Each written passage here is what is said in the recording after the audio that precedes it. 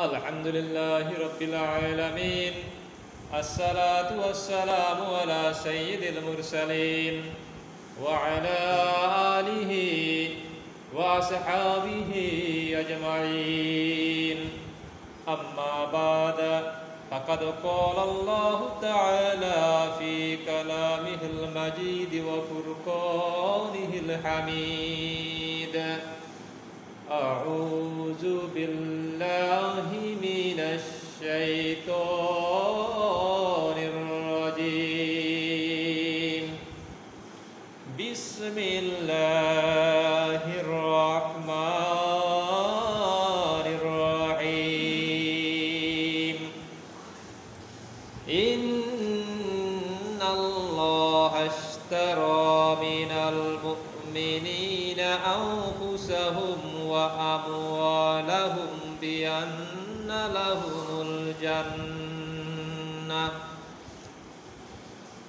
يقاتلون.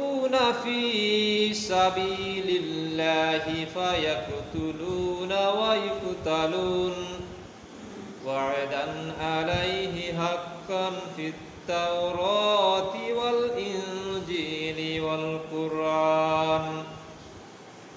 ومن أوفى بعهده من الله فاستبشروا ببيعكم الذي بايعتم به وذلك هو الفوز العظيم. التائبون العابدون الحامدون الساهحون الراكعون الساجدون الآمرون بالمعروف والناهون عن المنكر والحافظون لحدود الله وبشر المؤمنين صدق الله العظيم সমস্ত প্রশংসা সেই আল্লাহ সুবহানাহু তাআলার যার মেহরবানিতে আজকে পবিত্র জুমার দিন, দুনিয়ার যাবতীয় কাজকর্মকে পরিহার করে আল্লাহ সুবহানাহু তাআলার ভয়ে তার পবিত্র ঘরে এসে কিছু নামাজ আনতে কোরআনুল কারিম থেকে কিছু আলোচনা করা এবং দান করেছেন। সেজন্য সেই আল্লাহ সুবহানাহু তাআলা আলী দরবারে একটু শুক্রিয়া আদায় করি সকলে বলে আলহামদুলিল্লাহ। দরদ সালাম মানবতার মুক্তির দূত আখির নবী সাইদুল কাউনাইন জনাব মাহমুদ রসুল্লাহ সকল সাল্লাহ সাল্লাম সম্মানিত হাজারিন, আজকে আপনাদের সামনে সুরায় তওবা থেকে দুইটি আয়াত তেলাওয়াত করেছি। আজকের তেলাওয়াতকৃত আয়াত সুরায় তওবা, আয়াত নাম্বার একশত এগারো এবং একশত বারো। এই দুইটি আয়াতের সংক্ষিপ্ত আলোচনা করার মধ্য দিয়েই আজকে আলোচনা শেষ করবে ইনশাআল্লাহ। আজকে যে সুরাটি তেলাওয়াত করা হয়েছে, এর বিষয়বস্তু প্রেক্ষাপট আমি গত আলোচনাও আলোচনা করেছি, তথাপিও দুই চারটি কথা আলোচনার পূর্বে আপনাদের সামনে পেশ করতে চাই। তা হচ্ছে, এই সুরারের দুইটি নামকরণ করা হয়েছে। একটি হলো সুরায়ে তওবা, এর আরেকটি নাম হচ্ছে সুরায়ে বারাআত। সম্মানিত হাজিরের এই সুরাটি সুরায়ে মাদানি, এর রুকু সংখ্যা ষোলো, আয়াত সংখ্যা একশত উনতিরিশ। আজকের যে আয়াত তেলাওয়াত করেছি, চোদ্দতম রুকু থেকে তেলাওয়াত করা হয়েছে। তাহলে এই সুরাটির নাম দুইটি এক নম্বর সুরায়ে তওবা, দ্বিতীয়টি সুরাই বারাত। সুরাই তওবা, এই জন্য নামকরণ করা হয়েছে। তাবুক যুদ্ধে কিছু সাচ্চা ইমানদার মমিন শক্তি সামর্থ্য থাকার পরেও সরঞ্জামের অভাবে তাবুক যুদ্ধে অংশগ্রহণ করতে পারেনি। তাদেরকে প্রথমে ভৎসনা দেওয়া হলেও পরে এদেরকে ক্ষমা করে দেওয়া হয়েছে। এই জন্য সুরের নামকরণ করা হয়েছে সুরাই তাওবা। দ্বিতীয়ত সুরাই বারাত। খোদাই বিহার সন্ধিকে উপেক্ষা করে মুসলমানদের নির্মূল করার জন্য মুশরিকরা, ইহুদিরা ভিতরে ভিতরে চক্রান্ত করেছিল, ষড়যন্ত্র করেছিল এবং মুসলমানদের বিরুদ্ধে যুদ্ধ করার জন্য তারা অস্ত্র শস্ত্র সংগ্রহ করার জন্য ব্যতিব্যস্ত হয়েছিল। এই জন্য আল্লাহ তালা ওহি মারফত তাদের সেই ষড়যন্ত্রগুলিকে রসুল করিম সাল্লাহ আলিয়াল্লামকে জানিয়ে দিয়ে, তাদের সঙ্গে সে যে সন্ধি হয়েছিল, তা শেষ করার, সমাপ্তি করার নির্দেশ দিয়েছিলেন। সেই হেতু রসুল করিম সাল্লাহ আলিয়াল্লাম তাদেরকে কোনো অবকাশ না দিয়ে যুদ্ধ প্রস্তুতি সম্পূর্ণরূপে প্রস্তুত গ্রহণ গ্রহণ করার পূর্বেই তাদেরকে আক্রমণ করে তাদেরকে প্রতিহত করেছিলেন। এবং সেই সন্ধিকে সমাপ্তি ঘোষণা করেছিলেন। এই সুরার শুরুতে বিসমিল্লাহ লেখা হয়নি। কারণ হলো, এখানে অনেক মুবাসিরে কেরাম বলছেন, এই সুরার মধ্য দিয়ে আল্লাহ তালা কাফের মুশ্রিকদের অনেক লানত দিয়েছেন, তাদেরকে ভীতি প্রদর্শন করা হয়েছে। এই জন্য এই সুরার শুরুতে বিসমিল্লা লেখা হয়নি। আবার অনেকে মন্তব্য দিয়েছেন, প্রসিদ্ধ মত। রসুল করিম সাল্লাহ আলিয়াল্লাম নিজেই এই সুরার শুরুতে বিসমিল্লা লেখার নেয় বিধায় পরবর্তীতে এই সুরার বিসমিল্লা লেখা হয়নি। আল্লাহ সোনাউ তালা এই সুরাটিকে তিনটি ভাষণে নাজিল করে দিয়েছিলেন। প্রথম ভাষণ প্রথম রুকু থেকে পঞ্চম রুকুর শেষ পর্যন্ত নবম হিদ্রির জিলকদ মাসে যখন রসুল করিম সাল্লাহ সাল্লাম হজরত আবকর আদি আল্লাহ আমিরুল হজ নিযুক্ত করে মুসলমানদের সেই হজের কাফেলাকে মক্কায় প্রেরণ করেছিলেন। হজের সময় হজ প্রেরণ করার পরেই, এই কাফলা প্রেরণ করার পরেই আল্লাহ সুবহানাহু ওয়া তাআলা প্রথম ভাষণের আয়াতগুলো নাজিল করে দিয়েছেন। এরপরেই রাসূল করিম সাল্লাল্লাহু আলাইহি ওয়াসাল্লাম হযরত আলী রাদিয়াল্লাহু আনহুকে এই আয়াতগুলো জানিয়ে দিয়ে আবার মক্কায় প্রেরণ করলেন। কারণ হলো, এই রূপগুলোতে আল্লাহ তাআলা অনেক কর্মপন্থা, কর্মপদ্ধতি মুসলমানদের জন্য নাজিল করে দিয়েছেন। হজের মৌসুম, এখানে অনেক মানুষ জমায়েত হয় অনেক লোককে পাওয়া যাবে। দাওয়াত দেওয়া, এই কথাগুলো তাদের নিকটে পৌঁছে দেওয়া অতি সহজ হবে। সেজন্য আবু বকর রাদিয়াল্লাহু আনহুর পিছনে পিছনে রাসূল করিম সাল্লাল্লাহু আলাইহি ওয়াসাল্লাম হযরত আলী রাদিয়াল্লাহু আনহুকে প্রেরণ করেছিলেন। দ্বিতীয়ত, ষষ্ঠ রুকু থেকে নবম রুকুর শেষ পর্যন্ত, এটিও নবম হিজরি রজব মাসে তাবুক যুদ্ধের যখন প্রস্তুতি গ্রহণ করা হচ্ছিল। এই সময় রসুল এই সময় আল্লাহ সুবহানাহু ওয়া তাআলা এই আয়াত নাযিল করে দিয়েছেন। এবং দশম রুকু থেকে শেষ পর্যন্ত আল্লাহ তাআলা তাবুক যুদ্ধের সমাপ্তির পরে ফেরার পথে এগুলো নাজিল করে দিয়েছেন। সম্মানিত হাজিরিন, আজকে আপনাদের সামনে যে দুইটি আয়াত তেলাবাদ করেছি, এটি চোদ্দতম রুকু অর্থাৎ শেষ ভাষণ থেকে দুইটি আয়াত তেলাবাদ করেছি। এই দুইটি আয়াতে আল্লাহ তাআলা এবং তার বান্দার মধ্যে যে বেচা কিনা ক্রয় বিক্রয় আল্লাহ তালা এবং তার বান্দার মধ্যে যে ক্রয় বিক্রয়, এই ক্রয় বিক্রয় সম্পর্কে আল্লাহ তালা আয়াত নাজিল করে দিয়েছেন।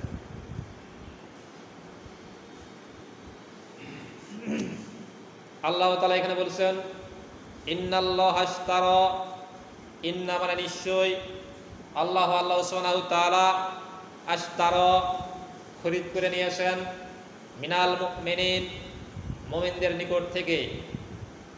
আউ ফুসাহুম তাদের জান ওয়া আমওয়ালাহুম এবং তাদের মাল। নিশ্চয় আল্লাহ তাআলা মুমিনদের নিকট থেকে তাদের জান এবং তাদের মালকে খরিদ করে নিয়েছেন বিয়ান্নালাহুমুল জান্না, জান্নাতের বিনিময়ে। তাহলে আল্লাহ তাআলা আর বান্দার মধ্যে যে লেনদেন, যে বেচা কিনা, আল্লাহ তালা খরিদ করে নিয়েছেন বান্দারা বিক্রি করেছেন। কিসের বিনিময়ে? জান্নাতের বিনিময়ে।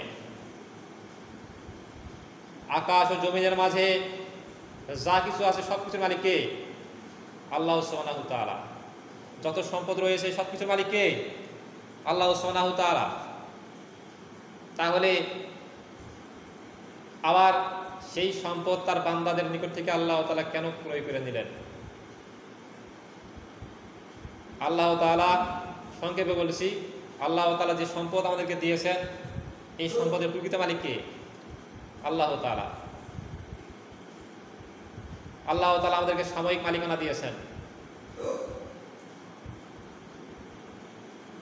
এগুলো আল্লাহ তালার পক্ষ থেকে আমানত শুরু আমাদেরকে দেওয়া হয়েছে। সেই সম্পদ আল্লাহর ইচ্ছার করে আমাদেরকে খরচ করতে হবে। আল্লাহ তালা যে পথে খরচ করার নির্দেশ দিয়েছেন, সে পথেই আমাদেরকে খরচ করতে হবে। আল্লাহ তালা যে সম্পদ আমাদেরকে আমানত দিয়েছেন, এগুলো খরচ করা, না করার ইচ্ছা শক্তিও আমাদেরকে দিয়েছেন।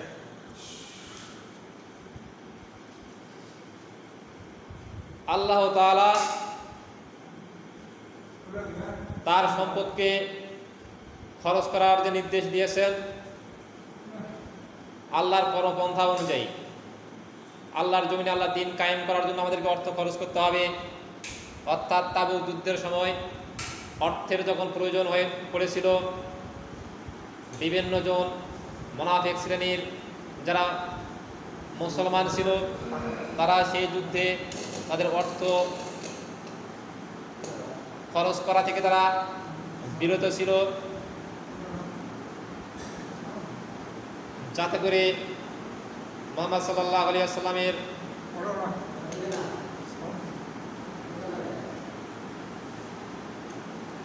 সেই কাফেলা যেন পরাজিত হয়, মোনাফিক সর্দারের ইচ্ছা চাওয়া পাওয়াগুলো যেন পূর্ণ হয়। সুতরাং আল্লাহ তালা যে সম্পদ আমাদেরকে দিয়েছেন, আল্লাহর ইচ্ছা অনুযায়ী আমাদেরকে খরচ করতে হবে। এগুলো আল্লাহ তালার পক্ষ থেকে আমানত স্বরূপ। সেই ব্যক্তি সর্বাপেক্ষা বুদ্ধিমান, যে এই আল্লাহ তালার নিয়ামত পেয়েছে, আল্লাহ তালার পক্ষ থেকে আমানত পেয়েছে, আমানত পাওয়ার পরে এই সম্পদগুলো আল্লাহ তালার নির্দেশ, আল্লাহ তালার ইচ্ছায় যারা খরচ করেছে, তারা একমাত্র বুদ্ধিমান। যারা আল্লাহ তালার ইসলামাবিক খরচ করা থেকে বিরত থেকেছে, নিজের খায়েশ মিলিয়েছে নিজের মন যা চেয়েছে তাই করেছে, এ হচ্ছে সবচেয়ে নির্বোধ বোকা শ্রেণির মানুষ। দুনিয়ায় হয়তো বুঝতে পারতেছে না। দুনিয়ায় আল্লাহর দেওয়া সম্পদ, আল্লাহ তালার দেওয়া নিয়ামতগুলিকে তারা ভোগ বিলাস করতেছে আরামায় সে দিন যাপন করতেছে। তো সেই আল্লাহ তালার নিয়ামত ভোগ করার পরে আল্লাহ তালার হুকুম, হাকামগুলো মেনে না চলার কারণে তার পরিণতি কী হবে? সেটি সে হাড়ে হাড়ে টের পাবে। সম্মানিত হাজিরের সেই জন্য আল্লাহ তালা বলছেন, ইন্নাল্লাহ হাস্তারা মিনের আল্লাহ তালা মোমিনদের নিকট থেকে খরিদ করে নিয়েছেন পুসাহুম তাদের জান। আল্লাহ তালা যে জীবন আমাদেরকে দিয়েছেন, এই জানের মালিককে আল্লাহ তালা এই জান যে আল্লাহ তালা আমাদেরকে দিয়েছেন, এই জীবন আল্লাহ তালা আমাদেরকে দিয়েছেন, কেন দিয়েছেন? খামাকা দিয়েছেন? না, আল্লাহ তালা একটি বিশেষ মহৎ উদ্দেশ্যকে কেন্দ্র করে আল্লাহ তালা আমাদেরকে সৃষ্টি করেছেন, আমাদেরকে বাঁচিয়ে রেখেছেন। আল্লাহ তালা আমাদেরকে জান দিয়েছেন আল্লাহ তালা নাফরমানি করার জন্য নয়। আল্লাহ তালা আমাদের জান দিয়েছেন। ইসলামের বিরুদ্ধাচারণ করার জন্য নয়। আল্লাহ তালা যে জান আমাদেরকে দিয়েছেন, পৃথিবীতে অশান্তি সৃষ্টি করার জন্য নয়। আল্লাহ তালা যে জান আমাদেরকে দিয়েছেন, যে জীবন আমাদেরকে দিয়েছেন, মানুষের উপরে জুলুম, নিপীড়ন, অত্যাচার, দমন, নিপীড়ন করার জন্য নয়। বরং আল্লাহ তালা মহৎ উদ্দেশ্যে, বিরাট উদ্দেশ্য নিয়ে আল্লাহ তালা আমাদেরকে সৃষ্টি করেছেন। আমাদের জান আল্লাহ তালা দিয়েছেন। তাই হচ্ছে আকাশ আল্লাহ তালার জমিন হবে জমিন আল্লাহ তালার সুতরাং এই মাঝখানে আল্লাহ তালা যে মানুষকে সৃষ্টি করেছেন, এই মানুষের ব্যক্তিগত, পারিবারিক, সামাজিক, রাষ্ট্রীয় সর্বক্ষেত্রেই পরিচালনা করতে হবে। পরিচালিত বিধান হবে আল্লাহ তালার বিধান। তারা আল্লাহ তালা বিধান অনুযায়ী প্রত্যেকটি সেক্টর, প্রত্যেকটি ক্ষেত্রে তারা পরিচালিত হবে, পরিচালিত করবে। এই জন্য আল্লাহ তালা মানুষকে জান দিয়েছেন, মানুষকে সৃষ্টি করেছেন। আল্লাহ তালা একটি মহাগ্রন্থ আল্লাহ তালা থেকে মহা সংবিধান দিয়েছেন। এইটি পালন করা, আবার না করার ইখতিয়ারও আল্লাহ তালা মানুষকে দিয়েছেন।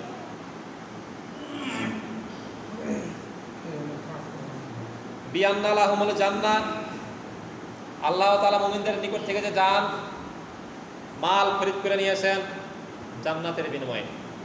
আমাদের যান আমাদের ইচ্ছা শক্তি আমাদের চাওয়া শক্তি আমাদের কামনা শক্তি, আমাদের ব্যক্তিগত সব কিছু চাওয়া পাওয়া সব কিছুকে আমরা বিক্রি করে দিয়েছি, বিলীন করে দিয়েছি। আল্লাহ তালার রাহে, আল্লাহ তালার ইচ্ছায়, আল্লাহ তালা যেভাবে এগুলিকে খরচ করার নির্দেশ দিয়েছেন, সেভাবে আমরা খরচ করতেছি। আর এর বিনিময় স্বরূপ আল্লাহ তালা আমাদেরকে পরিদান দিবেন জান্নাত।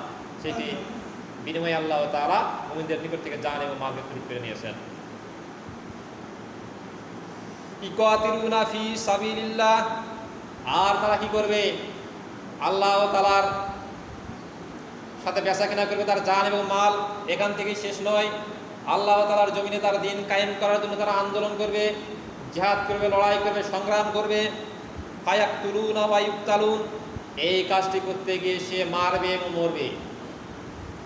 তাহলে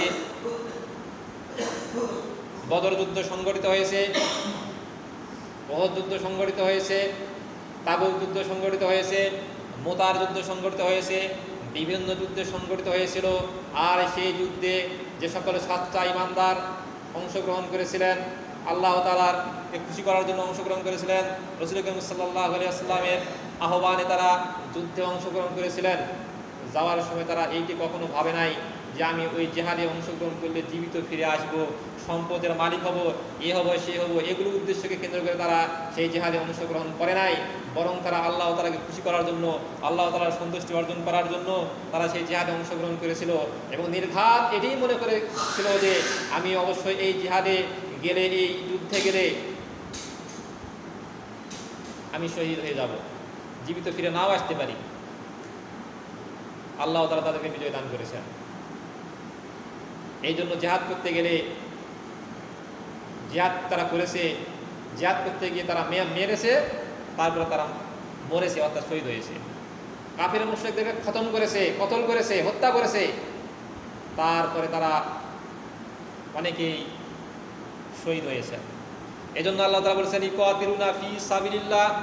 তারা আল্লাহ তালা রাস্তায় জেহাদ করবে, সংগ্রাম করবে, লড়াই করবে, যুদ্ধ করবে। ফায়াক তুরুন ওয়াইক তালুন এই কাজটি করতে গিয়ে তারা মারবে এবং নিজেরাও মরবে। ওয়াদান আলাই হাক্কান, আল্লাহ এই সকল মুমিনদের সাথে পাক্কা ওয়াদা করেছেন, অঙ্গীকার করেছেন, সেটি কোথায় কোথায় করেছেন? আত্মাওয়াতি ইনজিল ওয়াল কোরআন আল্লাহ তাআলা যে মুমিনদের নিকট থেকে তাদের জান এবং মালকে খরিদ করে নিয়েছেন, এই মুমিনরা আল্লাহ তাআলার জমিন আল্লাহ দিন কায়েম করার জন্য তারা আন্দোলন করবে, জিহাদ করবে, লড়াই করবে, সংগ্রাম করবে। এই কাজটি করতে গিয়ে কাফের মুশরিকদেরকে মারবে এবং নিজেরাও মরবে, মারা যাবে, শহীদ হয়ে যাবে। আর এর প্রতিদান আল্লাহ তালা যে জান্নাত দিবেন, এই ওয়াদা আল্লাহ তালা তাওরাত গ্রন্থে করেছিলেন ইঞ্জিলে করেছেন। এবং সর্বশেষ আল্লাহ তালার পক্ষ থেকে নাজিলকৃত কিতাব কোরআনুল কারিমে আল্লাহ তালাই ওয়াদা করেছেন। এরপরে বলা হচ্ছে, ওমান আউফা বিয়াহাদিহি মিনাল্লাহ আল্লাহ তালার থেকেও ওয়াদা পূরণকারী ওয়াদা পূরণকারী আর কি আছে? আল্লাহ তালার চাইতেও বেশি ওয়াদা পূরণকারী আর কি আছে? পৃথিবীর মানুষ হান্ড্রেড পার্সেন্ট ওয়াদা পূরণ করতে পারে না। আল্লাহ তালাই যে সকল ওয়াদা তার বান্দার জন্য করেছেন, আল্লাহ তালা একশো পার্সেন্ট ওয়াদা পূরণ করবেন। এই জন্য আল্লাহ তালা বলেছেন ওমান আউফা বিয়াহাদিহি মিনাল্লাহ আল্লাহ তালার চাইতে ওয়াদা পূরণকারী আর কেউ নাই। পাস্তা বেশিরু বিবাইকুমুল্লাদি বা ইয়াতুম বিহি এই জন্য আল্লাহ তালা বলছেন, তোমরা যারা আল্লাহ তালার সাথে জান্নাতের বিনিময়ে জান এবং মালকে বেচা কিনা করেছ, তারা আনন্দ করো। জালিকা হুয়াল ফাউজুল আলিম। কারণ হলো এটি তোমাদের জন্য সবচেয়ে মহা সফলতা। তাহলে যারা সাচ্চা ইমানদার, খাঁটি ইমানদার, তাদের জান, তাদের মাল সব কিছুই তারা আল্লাহর উপরে সপর্দ করেছে, আল্লাহর উচ্চার করে সপর্দ করেছে। আল্লাহ তারা যে পথে খরচ করার নির্দেশ দিয়েছেন, তারা সে পথে খরচ করেছে, করবে। নিজের জীবনকে যেভাবে পরিচালনা হওয়ার, পরিচালিত করার জন্য আল্লাহ তালা যে বিধান দিয়েছে নিজের জীবনকে, নিজের পরিবারকে, নিজের সমাজকে, নিজের রাষ্ট্রকে সেভাবে পরিচালিত করার ব্যবস্থা করেছে করেছে। এই পদ্ধতিতে আল্লাহ তালার সঙ্গে, এই ওয়াদাবদ্ধ হয়ে, এই চুক্তিবদ্ধ হয়ে আল্লাহ তালার সঙ্গে যারা বেচা কেনা করেছে, তাদের জন্য সেই মহা আনন্দের কথা বলা হয়েছে। কারণ তারা এটি ওই বান্দাদের জন্য, ওই মোমিনদের জন্য সবচেয়ে বড় একটি সফলতা। সম্মানিত হাজরিন, আল্লাহ সোনাউ তালা পরের আয়াতে একসাথে বারো নম্বর আয়াতে মোমিনদের বৈশিষ্ট্যের কথা বলেছেন যে সকল মুমিন পাঁচ, এই নয়টি গুণ অর্জন করতে পারবে। তাদেরকে আল্লাহ তালা মুমিনদের অন্তর্ভুক্ত করাই দেবেন।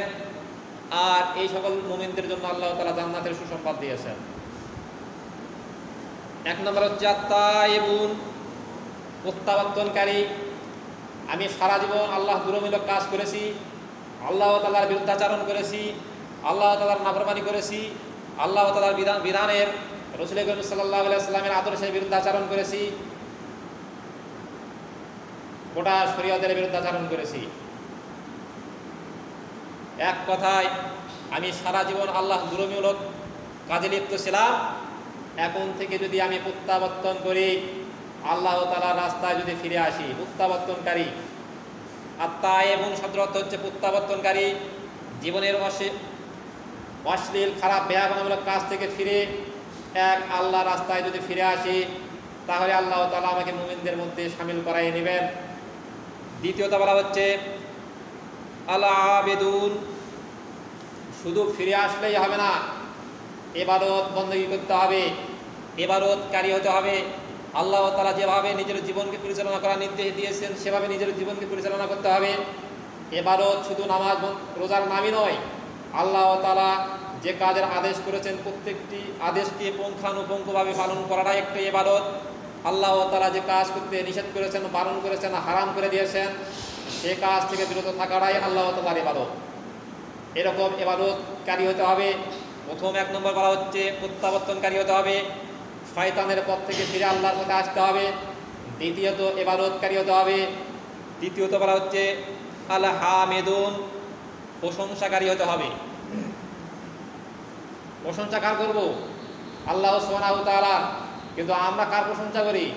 নেতার প্রশংসা করি, মানুষের প্রশংসা করি, দাপটশীল ব্যক্তির প্রশংসা করি সম্ভ্রান্ত ব্যক্তিদের প্রশংসা করি। কিন্তু প্রশংসা সর্বাবস্থায় কাজ করতে হবে? আল্লাহ তালার প্রশংসা করতে হবে। আল্লাহ তালাকে বাদ দিয়ে যদি অন্য কারও প্রশংসা করি, অন্য কারও সন্তুষ্টি অর্জন জন্য তার প্রশংসা করি কাল রসুল সাল্লাহ আলিয়াসাল্লাম এক হাদিসের মধ্যে বলেছেন, যারা মানুষকে খুশি করার জন্য, মানুষকে সন্তুষ্টি করার জন্য তার প্রশংসা করে, সে আল্লাহ তালার সঙ্গে সেরেক করে। তাহলে এটি একটি সেরেক হবে। মানুষের প্রশংসা করা ব্যক্তির প্রশংসা করা, নেতার প্রশংসা করা, এগুলো সেরেকের পর্যায়ে চলে যাবে। প্রশংসা সর্বাবস্থায় সুখ, দুঃখ, অভাব, অনটন সর্বাবস্থায় যে আলোতে থাকি না কেন, সর্বাবস্থায় আমরা আল্লাহ সোহানা তাল্লাহ প্রশংসা করব। এই জন্য তিন নম্বর বলা হচ্ছে, তাকে প্রশংসাকারী হতে হবে, সে আল্লাহ তালা প্রশংসা করবে। আসাহেহুন বিচরণকারী, আল্লাহ তালার রাস্তায় বিচরণকারী আপনি যেখানে আসেন সেখানে দিনের দাওয়াত দিবেন, কোরআনের কথা বলবেন, আল্লাহর দিকে ডাকবেন, অন্যত্র যাবেন সেখানেও মানুষদেরকে আল্লাহর কথা বলবেন, রাসুলের কথা বলবেন, মানুষদেরকে আল্লাহর দিকে ডাকবেন, খারাপ পথ থেকে দূরে রাখার আহ্বান জানাবেন, এইভাবে আপনার সামনে আপনি অগ্রসর হবেন, এক স্থান থেকে অন্যত্র চলে যাবেন, এভাবে মানুষগুলিকে, খারাপ মানুষগুলিকে আল্লাহর দিকে ডাকবেন, রসুলের দিকে ডাকবেন, কোরআনের দিকে আহ্বান করবেন, অর্থাৎ মুসাফির সফরের হালতে বিচরণ করবেন। পৃথিবীর সর্বত্রই আপনি বিচরণ করবেন। একটি মাত্র উদ্দেশ্যকে কেন্দ্র করে মানুষদেরকে আল্লাহ তালার দিকে আহ্বান করা টাকা। এই কাজটি করতে হবে। নিজের ঘরের মধ্যে বসে বসে ভারত বন্দী করবেন, নামাজ পড়বেন তুসপি ঠেলবেন জেকেট করবেন, আজকার করবেন, আর মানুষদেরকে কোরআনের দিকে ডাকবেন না, আল্লাহর দিকে ডাকবেন না।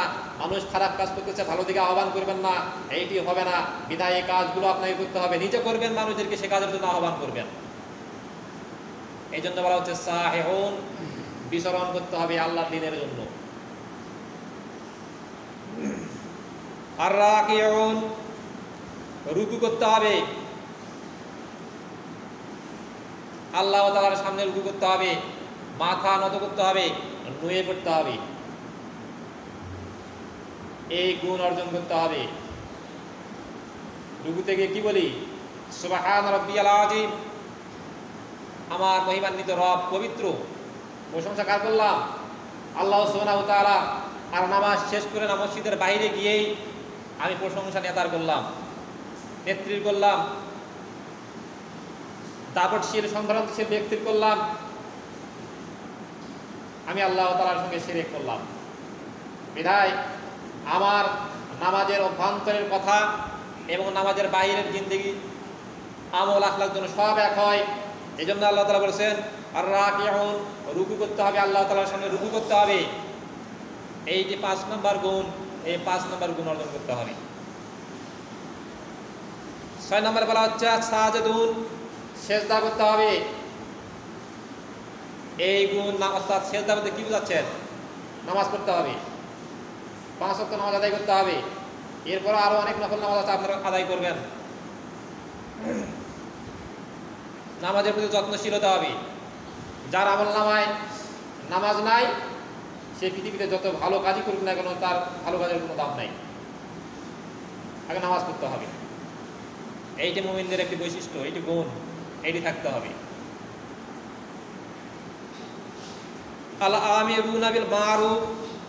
ভালো কাজের আদেশ দিতে হবে। সাত নম্বরে গুণ অর্জন করতে হবে। ভালো কাজের আদেশ দিতে হবে। আমরা সবচেয়ে অপরাধ ভালো কাজের আদেশ প্রদান করতে।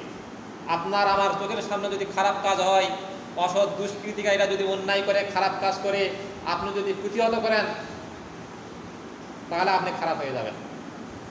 আপনি ভালো কাজ করার আদেশ করতে পারবেন না। ভালো কাজের আদেশ করলে আপনি তখন খারাপ হয়ে যাবেন। ওরা কী করতেছে করুক আপনি দেখে চুপচাপ থাকবেন, তাহলে তাদের সামনে আপনি ভালো হয়ে যাবেন। এটা ইমানদারি কথা নয়। আপনাকে সর্ব অবস্থায়, সর্বক্ষেত্রে আল্লাহ তালাকে যদি ভয় করেন আল্লাহ তালার নৈকট্য যদি পেতে চান, আল্লাহ তালার সন্তুষ্টি অর্জন যদি করতে চান, তাহলে সর্ব অবস্থায় ভালো কাজের আদেশ দিতে হবে। সে ভালো কাজের আদেশ শরিয়াত সম্মত হতে হবে। কোরআন সুন্দর আলোকে মানুষদেরকে ভালো কাজের আদেশ দিতে হবে।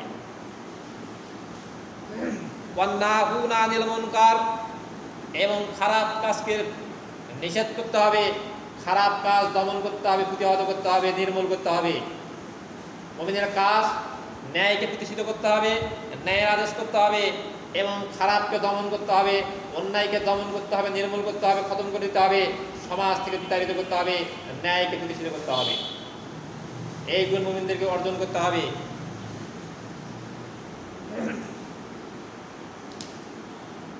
সাল্লাহ একদিন সাহাবিদের সামনে বর্ণনা করতেছেন যে একটি স্টিমার একটি লঞ্চ যাত্রা করল সমুদ্রপথে কিছু দূর যাওয়ার পরে লটারি দেওয়া হলো। কে উপর তলায় থাকবে আর কে নিচতলায় থাকবে, এই লটারির ভিত্তিতে কিছু অংশ লোক উপরতলায় স্থান পেল, আবার কিছু সংখ্যক লোক নিচতলায় স্থান পেল। নিচতলার লোকদের পানির প্রয়োজন হচ্ছে বারবার, তারা উপরতলায় যাচ্ছে। বারবার যেতে হচ্ছে, বারবার আসতে হচ্ছে। এতে উপরতলার লোকগুলো বিরক্ত হচ্ছে। আবার তাদেরও কষ্ট হচ্ছে। তারা বুদ্ধি বের করল যে, নিচতলায় যদি জাহাজের তলা ফুটো করে দেওয়া হয়, তাহলে হাতের পাশে পানি পাওয়া যাবে। কষ্ট হবে না। উপরতলায় যেতে হবে না। উপরতলার লোকগুলো বিরক্ত হবে না। বুদ্ধিটা ভালো না?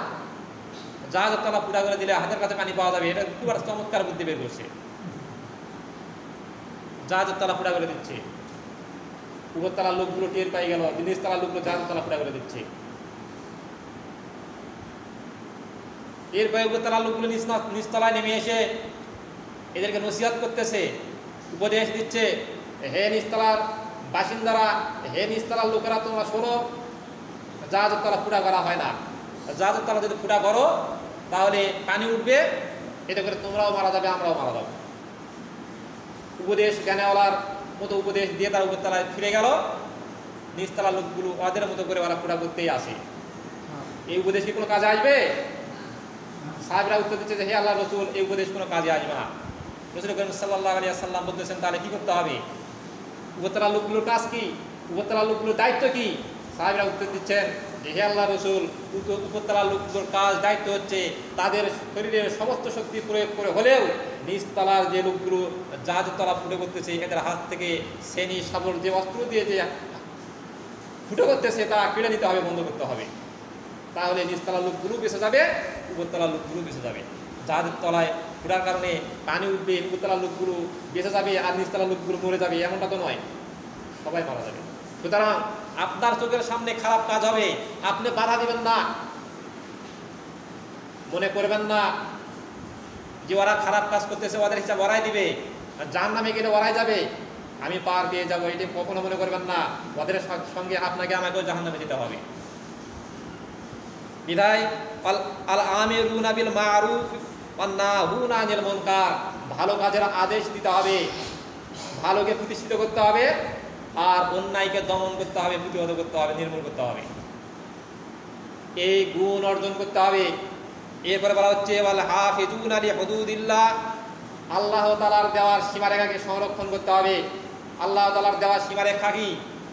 ফরজ, ওয়াজিব, সন্নত মোস্তাব হালাল হারাম, যত কিছু আল্লাহ তালা বিধিবিধান দিয়েছেন, যে কাজগুলো করতে হবে আর যে কাজগুলো থেকে বিরত থাকতে হবে, আল্লাহ তালা সব কিছু সীমারেখা কোরআন এবং কোরআনের মধ্যে বর্ণনা করে দিয়েছেন এবং রসুল করিম সাল্লাহ আলী আসসালামের জীবন চরিত্রের মাধ্যমে সেগুলি সেগুলি সংরক্ষিত হয়েছে, বাস্তবায়িত হয়েছে, যেগুলো হাদিসের মধ্যে সংরক্ষিত রয়েছে। তাহলে কোরআন সুন্না অনুযায়ী আমাদেরকে পরিচালিত হতে হবে। এই কোরআন সুন্নার দেওয়া সীমারেখাকে আমাদেরকে সংরক্ষণ করতে হবে, তার মানে এই কোরআন সুন্দর আলোকে আমাদের নিজের জীবনকে পরিচালিত করতে হবে, আমাদের পরিবারকে পরিচালিত করতে হবে, আমাদের সমাজ, আমাদের রাষ্ট্র, আমাদের জাতিকে পরিচালিত করতে হবে। এই জন্য বলা হচ্ছে বলা হা বেদুন আলী হদুদিল্লাহ আল্লাহ তালার দেওয়ার সীমাকে সংরক্ষণ করতে হবে। আপনি একাই থাকবেন, এটা হবে না। আপনার সমাজকে সংরক্ষণ করার কাজ আপনাকে করতে হবে। সমাজের মানুষগুলিকে বাঁচার জন্য যার নাম থেকে বাঁচার জন্য কাজ আপনাকে করতে হবে আমাকে করতে হবে। তাহলে ওই খারাপ মানুষগুলো আল্লাহ তালার আদাব থেকে বেঁচে যাবে, আমরাও বেঁচে যাব। এরপরে বলা হচ্ছে শিরিল মিনিন এই সুসংবাদ, এই নয়টি গুণ অর্জনকারী মুমিনদের জন্য দিয়ে দাও। তাহলে এই নয়টি গুণ যারা অর্জন করতে পারবে, সেই নয়টি গুণ অর্জনকারীদেরকে আল্লাহ তালা মুমিন হিসেবে সাব্যস্ত করেছেন আর এই সকল মুমিনদের জন্য আল্লাহ তালা জান্নাতের সুসংবাদ দিয়েছেন। সম্মানিত হাজরিন, আমি আজকে আপনাদের সামনে বেশি ব্যাখ্যামূলক আলোচনা করার সুযোগ পেলাম না। কারণ হলো, জুমার আলোচনা বেশি সময় পাওয়া যায় না। মূল আলোচনা আপনাদের সামনে পেশ করার চেষ্টা করলাম। এই দুইটি আয়াত থেকে যে শিক্ষা আমরা গ্রহণ করতে পারলাম, এই শিক্ষা গ্রহণ করে এই আয়াতের আলোকে যেন আমাদের নিজের জীবনকে যেন, ব্যক্তিগত জীবনকে যেন আমরা করতে পারি আর এই গুণাবলীগুলো অর্জন করতে পারি এবং আল্লাহ তালার সঙ্গে আমাদের জান এবং মাল বেচা কেনার মধ্য দিয়ে আল্লাহ তালা সে জান্নাত যেন অর্জন করতে পারি, আল্লাহ তালার জমিনে আল্লাহ দিন কায়েম করার জন্য কাজ করতে পারি নিজেরা জন্য কাজ করতে পারি এবং আল্লাহ তালার দিন প্রতিষ্ঠা করার জন্য মানুষদেরকে যেন উদ্বুদ্ধ করতে পারি, আল্লাহ তালা সে তৈরি আমাদেরকে দান করে সকলে, বলে আমিন। আজকে এতটুকু কথা ব্যক্ত করে আজকে আলোচনা এখানে দিতে আল্লাহ ওয়া আসসালামু আলাইকুম রহমতুল্লাহ।